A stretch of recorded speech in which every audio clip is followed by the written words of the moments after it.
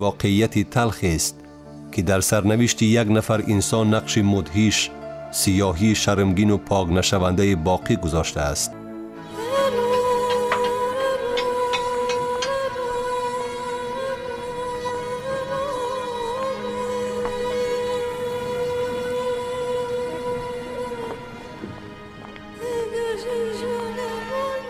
баҳодиҳӣ ро дар кадом муҳит бевосита ӯ тарбия ёфт калонсолони онҳо чӣ гуна буданд аз ҷангал инаро гирифта овардан дар хонаашон ҷайбаҷай карданд баъд бисёриш тарафи қундуд омад рӯҳи ин одамо вақте ки як бору ду бору се бору чор бор ино ба ин корҳо ҷалб карда мешаванд одамое мешаванд ки ҳамеша дар як фазои маҳдуд зиндагӣ мекунанд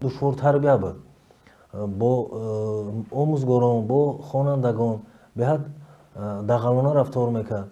وای کار نکرده یک درآمد نداشته از کجا اینقدر صاحب خانه در شده باشد؟ در میمانخانه دیگر در توی و در تمام چیزا می بردن و اوجا رقص و بازی می‌کردن و بعد از او باز کارهای نامشروع را قطیش می‌کردن بچه بازیشان خود توی می‌شد درس می‌خواد پیش ملا. این ملا دیگه خودم چی را کردش کرد؟